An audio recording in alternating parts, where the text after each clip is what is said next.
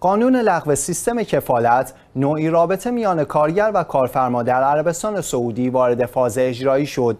شبکه خبری اسکای نیوز گزارش داد سرانجام پس از هفتاد سال برقراری سیستم کفالت عربستان سعودی این قانون که اعتراض بسیار از نهادهای حقوق بشری را برانگیخته بود و به نوعی سیستم استثمار کارگران خارجی محسوب می‌شد را لغو کرد.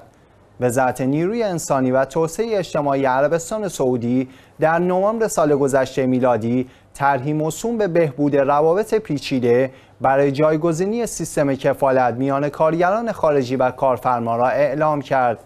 به گفته رسانه های سعودی طرح جدید قانون کار تلاش می کند بازار کار در عربستان را برای کارگران خارجی جذاب کند و شرایط کار را بهبود بخشد. در این طرح بر روی سه مسئله تغییر شغل، بهبود سازوکار خروج از عربستان و بازگشت و خروج نهایی تمرکز شده است.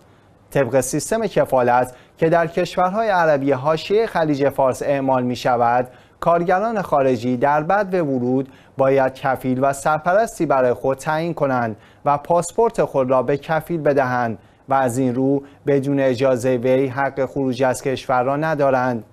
این سیستم که از آن به عنوان بردهداری نوین یاد می شود تا کنون اعتراضات بسیاری را برانگیخته است.